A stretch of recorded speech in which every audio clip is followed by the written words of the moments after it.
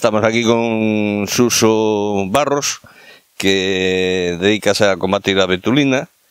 Eh, vai nos decir como empezou, como descubriu o método. Pois empecei primeiro con arjana panza, collelas e a matalas Mirei que non daba feito e entonces cambiei de tema. Fun a buscar nidos e a tirar logo a falar cos dueños dos pinos para tirar os pinos. E logo mirei que se mete con un valía porque a metella motosarra elas puñanse no mundo. O soplete pois tiramos 374 niños. Pero logo era un traballo que se me iba fendo maior eu, e tiña que subir unha altura, ao mellor chegábamos a 30 metros de altura, e entonces empecé a pensar noutra cousa. entonces empecé nos cans, que lle botaban unha pipeta pos xunto dos carrapatas. E entonces dixe eu, se un lle fai aos cans, que lle dura tres meses, por que non, por que non pode faillas as éticas. E efectivamente, comproveio, fixen-o, aquilo botelle, collía algún e e tiña pouco de autonomía que xa non levantaba moitas. O se botaba un pouco forte xa, xa morrían xa no ato. Entón dixen, este o tal. Entón mezclei mel con capipeta e fun, fun fendo máis ou menos equilibrado para que me matara as, as asiáticas. E así foi.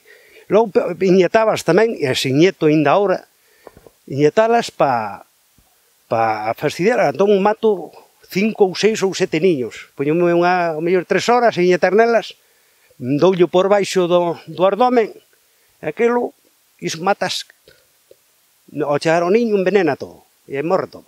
Entón, logo, busquei un método pa escopeta de balín. O primeiro, tirábamolo con ca copa do balín.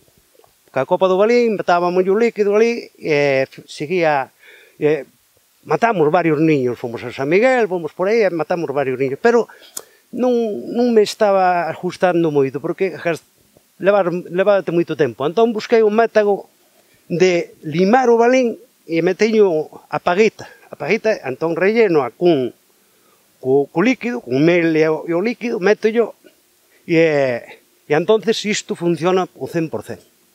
Gracias, Uso, por vir a facer o traballo de sacalo por ensinarnos o secreto eh, para que a xente se enteire que se pode combatir se se queren. Sí, sí. Eu faio por ben de todos, porque isto, pois, se non o fixera, isto sería unha plaga. Se non fora o que levamos feito eu, máis os, o Guillermo. Que isto, isto arrasamos todo, bameales, todo, todo por aí, deixamos todo. Rico. E que acabarían cas abellas nosas sí, daqui. As abellas hoxe están gracias a, ao que nos fixemos, non había ni unha, ni unha. E iso é moi triste porque é a, a que populiza todo, os árboles, todo. E se sacaban os árboles, sacábamos nós tamén. Moitas gracias.